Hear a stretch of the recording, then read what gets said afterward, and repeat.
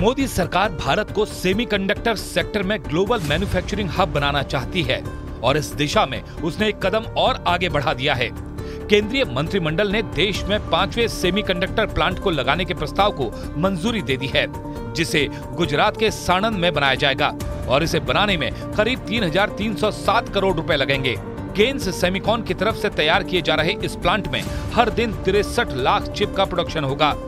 Semiconductor chip silicon से तैयार की जाती है, जिसका इस्तेमाल डेटा प्रोसेसिंग में होता है।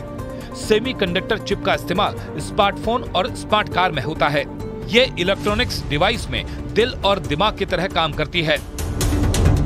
सेमीकंडक्टर का दुनिया में सबसे बड़ा सप्लायर ताइवान, चीन और अमेरिका है। कोरोना काल में जब चीन में सेमीकंडक्टर का प्रोडक्शन रुका था तो पूरी दुनिया पर इसका असर देखने को मिला। कोरोना काल के बाद मोदी सरकार ने सबसे पहले गुजरात के साणंद में ही सेमीकंडक्टर प्लांट लगाने के प्रस्ताव को जून 2023 में मंजूरी दी थी।